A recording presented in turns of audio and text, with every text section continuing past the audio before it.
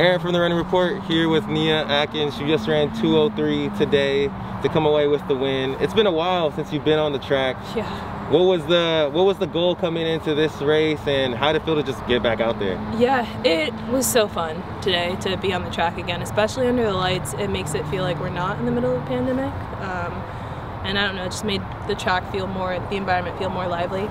Um, I just wanted to really capitalize on the opportunity to race and just focus on that um, and just kind of let the chips fall where they may. So. Well, they definitely they fell in your favor. You came yeah. away with the dub. I was seeing before.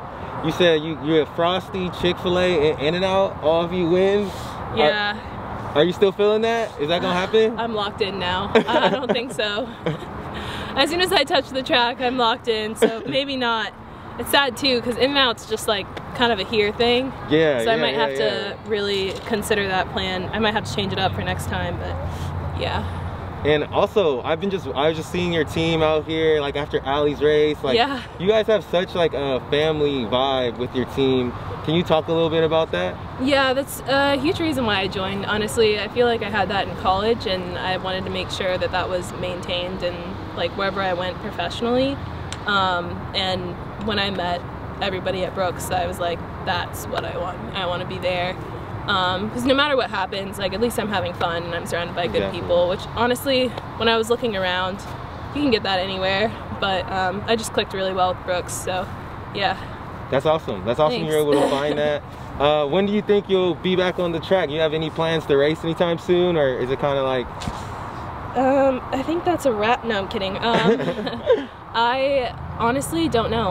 Um, it's just how things are this year. Um, we're gonna have a nice training block back in Albuquerque um, for a month or so, and then um, figure out where we're going from there. So.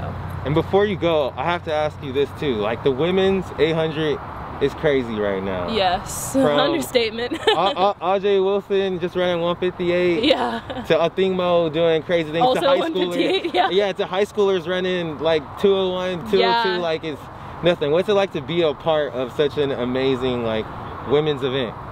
It's so exciting, honestly. I remember last year watching events like the 400 meter hurdles and being Yes. like, man, like it brings the best out of everyone in that event. Um, and I'm kind of hoping that that happens for me. Like last year was was kind of all over the place. It was a mess, but um, I'm kind of hoping that this year with the competition, there's there's just going to be great race opportunities. So um, I'm looking forward to that.